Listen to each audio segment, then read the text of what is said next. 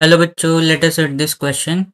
In Young's double slit experiment carried out with the light of wavelength lambda equals to 5000 angstrom, the distance between the slit is 0.2 millimeter and the screen is at 200 centimeter from the slit.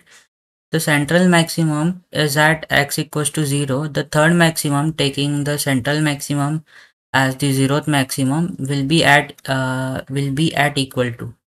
तो इस question में हमें एक Young double slit experiment perform किया है जिसमें wavelength जो है वो 5000 थाउज़ेंड दिया है।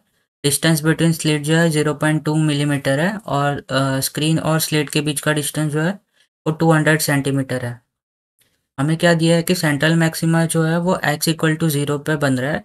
तो जो थर्ड मैक्सिमा होगा सेंट्रल मैक्सिमा से उस, उसका पोजीशन क्या होगा? इस क्वेश्चन को सॉल्व करने के लिए जो की कॉन्सेप्ट हम लोग यूज़ करेंगे वो होगा तो इन यंग्स डबल स्लिट एक्सपेरिमेंट, जो एंथ मैक्सिमा का पोजीशन होता है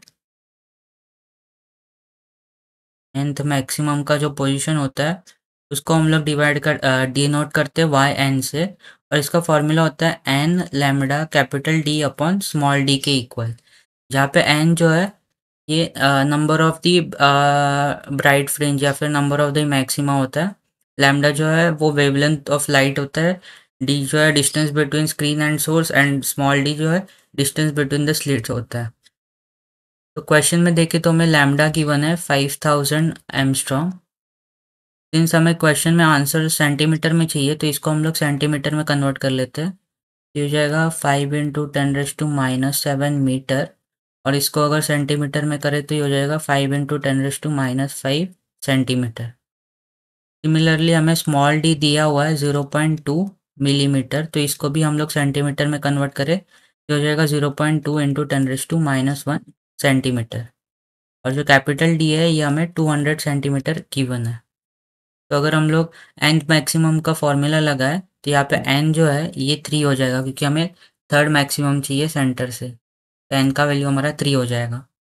यहाँ से हम लोग कह सकते हैं वाई थ्री हो जाएगा थ्री इंटू लैमडा लैमडा का वैल्यू कितना है? Five into ten raise to minus five into capital D जो कि है two hundred divided by small D जो कि इसका value zero point two into ten raise to minus one इसको सिंप्लीफाई करें तो five into three fifteen fifteen into two fifteen into two हो जाएगा थर्टी तो ये टू हंड्रेड से मल्टीप्लाई करें तो ये हो जाएगा three thousand into ten raise to minus five divided by ये ज़ीरो पॉइंट टू को अगर टू लिखे तो ये हो जाएगा two into ten raise to minus two के इक्वल टू से इसको कैंसिल करें तो ये हो जाएगा फिफ्टीन हंड्रेड और ये ten raise to minus two ऊपर चले जाएगा तो plus ten raise to plus two हो जाएगा। तो हमारे पास फाइनली बचेगा one thousand five hundred into ten raise to minus three centimetre. इसी को हम लोग लिख सकते हैं वन पॉइंट फाइव सेंटीमीटर्स के इक्वल। तो हम लोग कह सकते हैं कि जो थर्ड मैक्सिमा आएगा फ्रॉम दी सेंटर वो होगा वन पॉइंट फाइव सेंटीमीटर पर। तो हमारा ऑप्शन बी जो है, वो राइट right आंसर हो जाएगा। तो I hope you have understood it well and best of luck